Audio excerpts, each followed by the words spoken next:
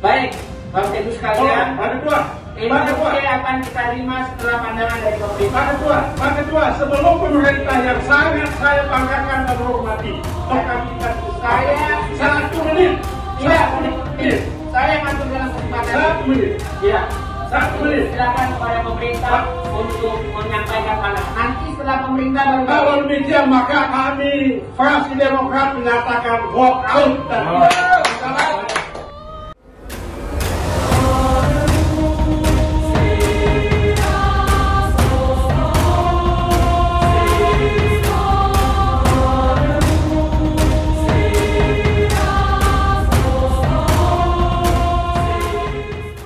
Dari semua fraksi di DPR RI, hanya dua fraksi yang menyatakan menolak disahkannya Undang-Undang Cipta Kerja atau Ciptaker, yakni PKS dan Demokrat.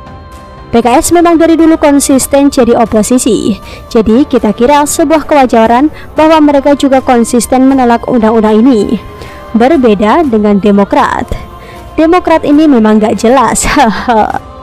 Kadang sok dekat dengan pemerintahan, kadang sok pintar ngajari pemerintahan karena SBY pernah dua kali jadi presiden, kadang sok menohok. Berbagai cara ditempuh untuk membesarkan elektabilitas Partai Demokrat yang makin nyungsep itu. Intinya, segala daya upaya berusaha dipakai, termasuk main drama dalam sidang paripurna pengesahan Undang-Undang Ciptaker DPR RI. Biar kelihatan beda gitu. Aksi walkout yang dilakukan oleh fraksi Demokrat dari sidang menyusul upaya interupsi berkepanjangan, lalu diolah oleh sang ketua umum AHY dan kemudian dibagikan di media sosial serta di media berita.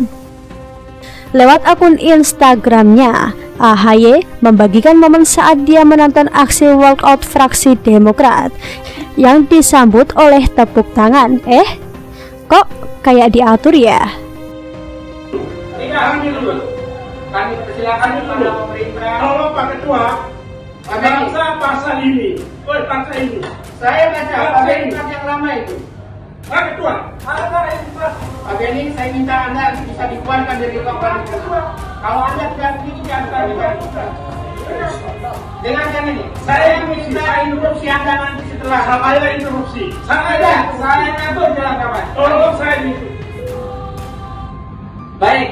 Bapak Ibu sekalian, Pak Ketua, ini Pak Ketua. akan kita terima setelah pandangan dari pemerintah. Pak Ketua, Pak Ketua, sebelum pemerintah yang sangat saya banggakan dan hormati, tolong kami kasih Saya- satu menit, Iya. Saya ngatur dalam kesempatan. satu menit, Iya. satu menit. Silakan kepada pemerintah untuk menyampaikan pandangan. Nanti setelah pemerintah baru. Kalau demikian maka kami fraksi Demokrat menyatakan walk out dan Kemudian disusul lagi dengan pernyataan AHY yang dirilis ke pers. Seperti yang dilansir oleh cnnindonesia.com, AHY pun mengatakan minta maaf atas kegagalan partainya membantu pengesahan rancangan Undang-Undang Ciptaker. AHY berkata partainya tak memiliki cukup suara untuk menjegal produk legislasi tersebut. Seperti diharapkan kalangan buruh dan pekerja, dia menegaskan Demokrat harus berkoalisi dengan kaum buruh dan pekerja. Insya Allah kita terus memperjuangkan harapan rakyat. No one is left behind. Bersama kita kuat, bersatu kita bangkit. Tuhan bersama kita, kata AHY.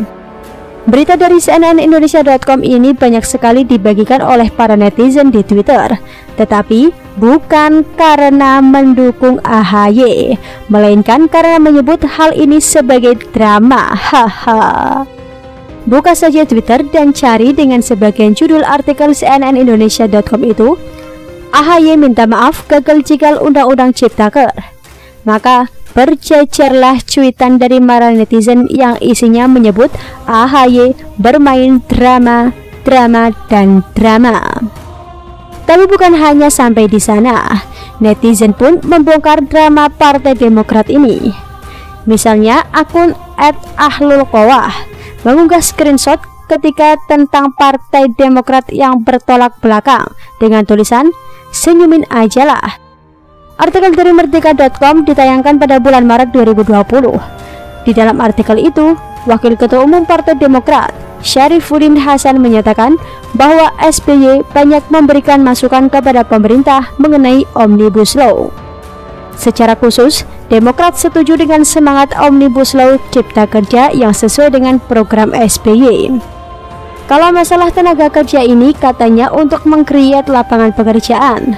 Kalau itu sama dengan program Pak SBY dulu strategi pembangunan Pak SBY kan salah satunya adalah pro kepada bagaimana meningkatkan tenaga kerja, lapangan kerja, kata Syarif. Terus kenapa sekarang jadi menolaknya? Nah itu dia, kenalah AHY disebut main drama, disamakan dengan SBY oleh para netizen.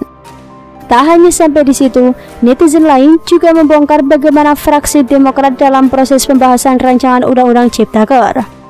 Demokrat ini ajaib banget. Saat pembicaraan mereka ikut, aktif, berdiskusi.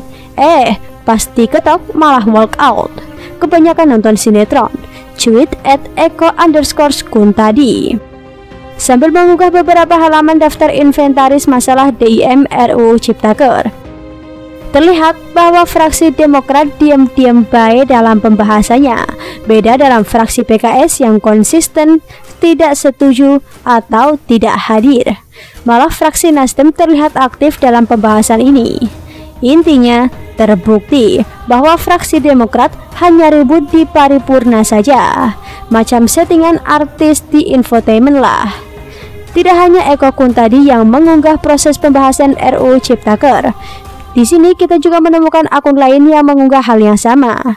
Dari mana mereka mendapatkan daftar TIM ini?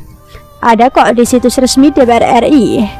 Di sini ada rekam jejak pembahasan rancangan Undang-Undang Cipta Kerja, disertai dengan dokumen terkait seperti catatan rapat dan DIM.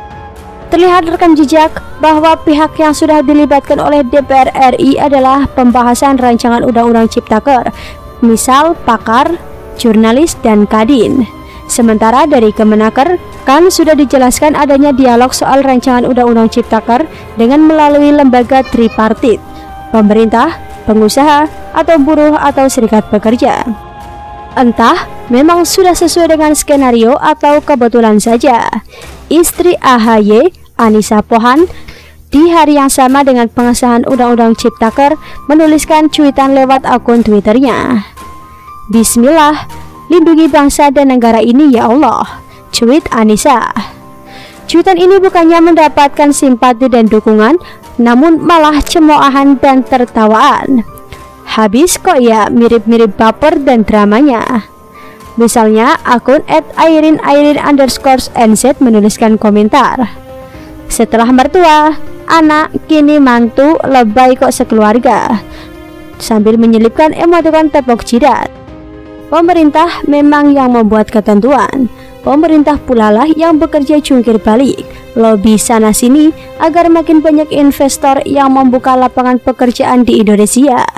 Kita sudah bersaing di tingkat global, bersaing dengan Vietnam, dengan Cina, yang para buruhnya terkenal sebagai pekerja keras. Cobalah untuk mempelajari Undang-Undang Ciptaker dengan cermat, pahami situasi dan kondisi pandemi COVID-19 yang imbasnya ke ekonomi. Kita yakin lebih banyak buruh cerdas yang percaya dengan pemerintah